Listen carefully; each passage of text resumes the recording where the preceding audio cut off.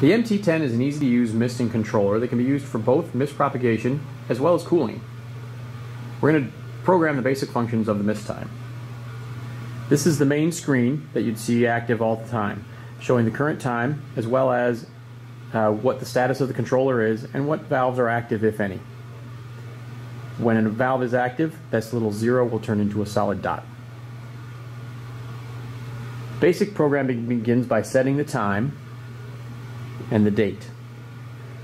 Hit the menu button, scroll down to General, hit Enter. Again, it'll tell you which valve is active, if any. Scroll to the time, hit Enter, and now you can actually enter the time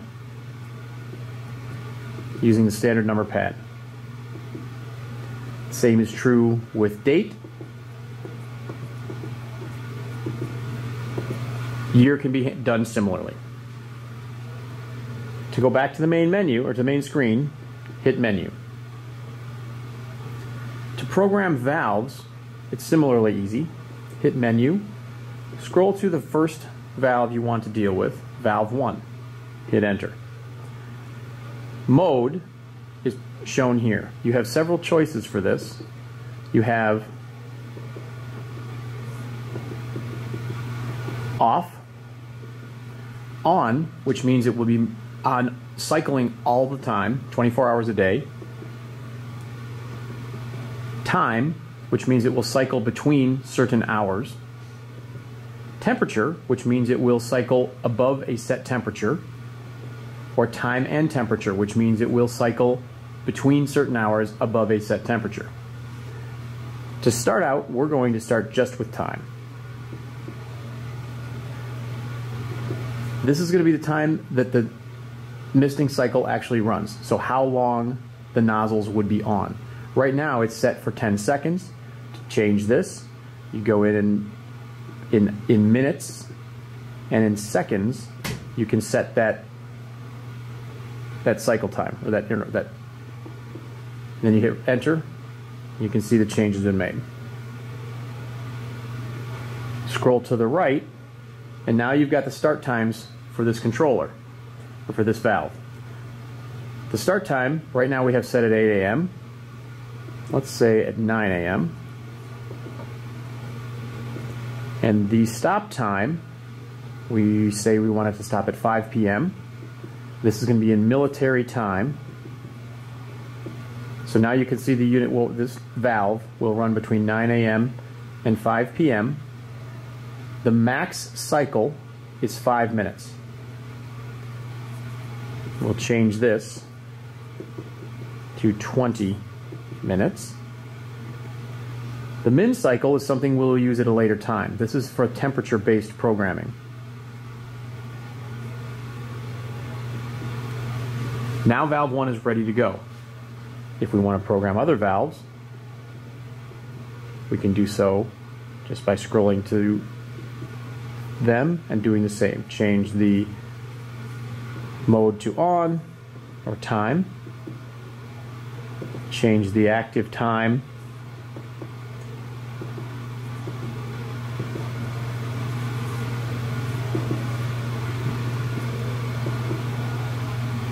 Scroll to the start time and stop time. Start time 0800 and the stop time 5 p.m. Cycle. Right now this is set for one hour. We're going to set it for 30 minutes. And then again, the minimum cycle time, we'll use that at a later point in the video. It is important to note that when you're using the time-based function, that you need to actually cross that time threshold for it to activate for the day. For example, it's already 1023 on our clock. I've set the start times for those two valves at 9 a.m. and 8 a.m. respectively. Neither of those valves will run today because this clock hasn't touched, crossed either of those thresholds. If you need it to run today, simply set it to on and then go back in the afternoon and reprogram it with your start times that you'd like to use for the, for the actual day. An advanced feature of the MistTime is the ability to use multiple time buckets throughout a day, up to six. This allows us to build a misting curve. For example, we could have the controller run from midnight until 8 a.m. at a much wider interval, just to get some moisture on the plants. From 8 a.m. to 10 a.m. at a 30 minute interval to start moistening the plants a little bit more as the sun comes up and the temperature rises. From 10 a.m. to 2 p.m., we could have it running every five minutes because it's very high light intensity. Um, the temperature has risen in the greenhouse and we need more moisture. From 2 p.m. to 5 p.m., it would maybe start to cycle back, maybe back to 30 minutes. And from 5 p.m. to 11:59, we'd have it run again on an hourly or, or hour and a half basis, just to have moisture on the leaves or on the plants during the night. You can build this time bucket setup First, we're going to need to go into the installation program or the general overall settings for the controller. This is a hidden feature. It doesn't show in the general menu. If you scroll through, you'll notice it doesn't show you that feature. To get there, we go to the menu, but we press menu, we press the up button, and then we enter the code 2826. Enter. This takes us into the installation program. From here we say general installation, here we can change the language. MistTime is available in multiple languages. The number of valves that you actually wish to use. Uh, this is important. If you're only using five valves, you can change this to five and it won't look to the others as you're trying to go through a misting cycle. It'll save some time. If we're using the temperature sensor, which is an optional uh, a, optional piece that, come, that you can use with the unit. We can select whether we want Fahrenheit or Celsius. We have the option of a pump pre-start. We'll describe, describe that later. Temperature control. This allows us to use temperature to influence uh, the, the cycles. And then the number of starts per valve here is where I'm, if I'm going to make a, a curve, we're going to put 5 in here. That'll now allow me to build a 5 bucket curve of different five different time buckets throughout the day. Once we've done that, we hit the menu option.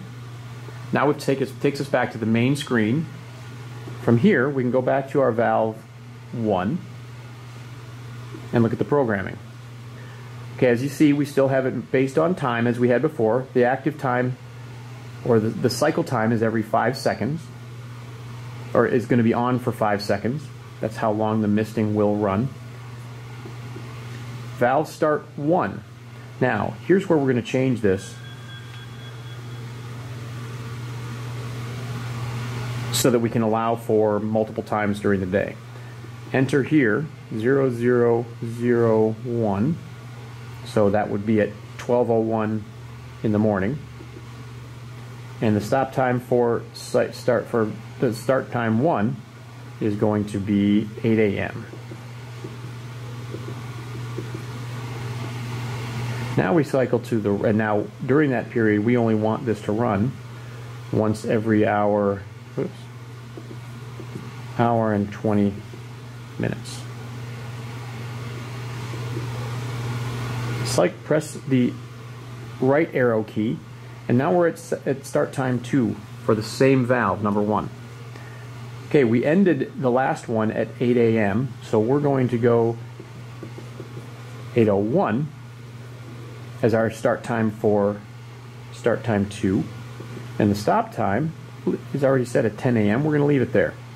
The, the we want the cycle for this time to be 20 minutes. Now we press the right arrow again, and now we're at start time 3 for valve 1. We ended the last one at 10 a.m., so 10.01. And let's say 2 p.m. or 1400 because this is military time. Now we're in the, the, the, most light intensity during the day, the warmest part of the day.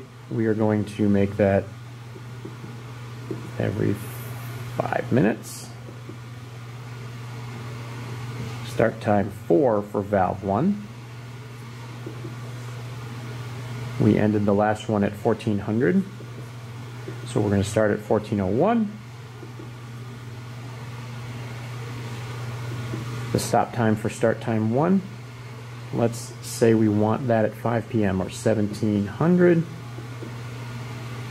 We want this during this period to run for 20 minutes. And then for start time 5, our last start time for this valve, we end the last at 1700, so we make this 1701.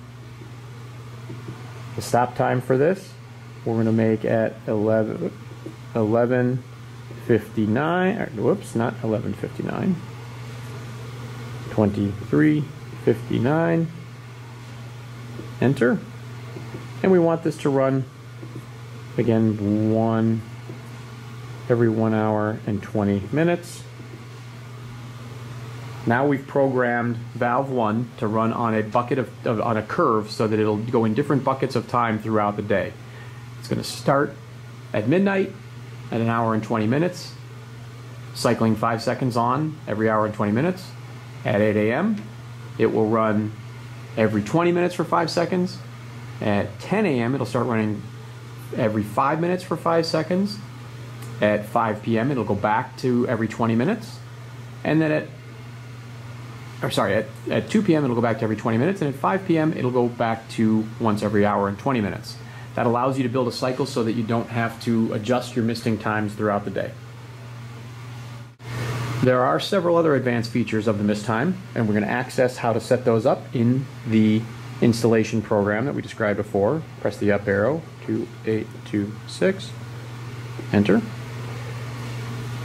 We go into the installation program. As we mentioned, language, number of valves, Fahrenheit is temperature. So if we want to go down to temperature, we would go in here and we would actually say we want, in the States, typically Fahrenheit to be on. If you're in a, if you're in Canada or you're in other metric countries, you'd leave that as off, and then Celsius would be the temperature uh, shown. Go down to temperature control, we tell it we want this to be on. Now we would need to actually install the temperature sensor with this. This is an optional piece, you can get this from Dramm.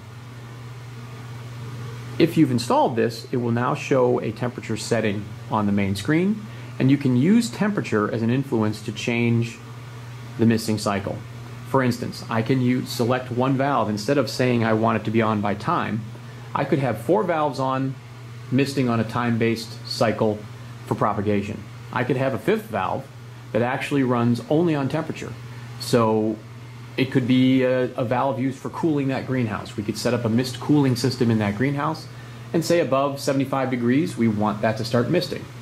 We can also influence the cycle times with the temperature sensor as well. So above a, set, a specific set temperature, we can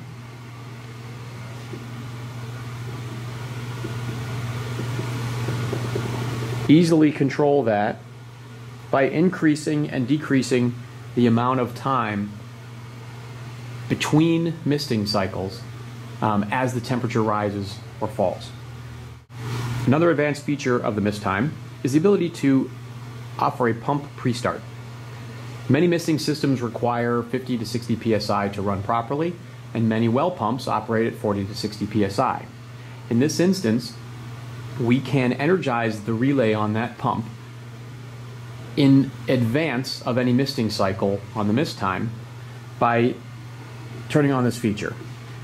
Inside the wiring, there's a pump output. That would be that's a 24 volt output that would be run to your pump, um, your pump switch.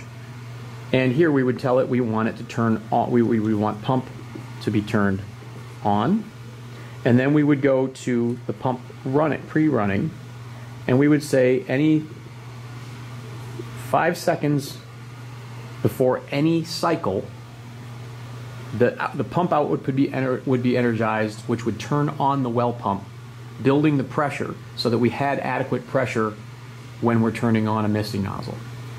This is important because let's say that the, the pressure switch is at the low end of its cycle and it's at 40 psi. We turn on our misting system, which might not have very much outflow. It might be several seconds before that pump turns on, which means you're just going to get a poorer mist, or potentially the nozzle won't even work at all, depending on how it's designed. With this function, it allows you to actually activate that in advance so that you have pressure when the nozzles come on. Finally, one nice feature of the unit, we can actually change the number, the valve names using four characters, but any four characters, you can change each valve name so that we could call a valve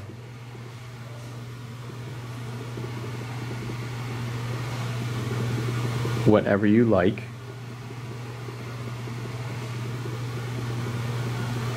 Scroll through the entire alphabet, lower and uppercase. So let's call this one MST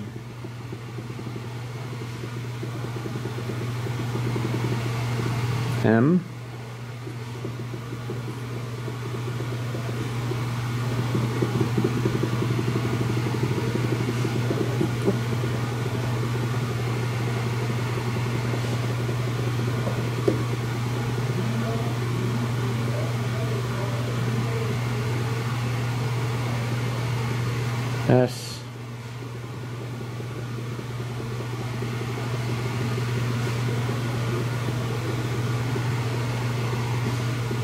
T1. Now you can see valve name is uh, valve 1 is named mist 1. You could say range 1, bench 1, BEN, any combination of four characters you can use to make it easier for you to recall which benches are which.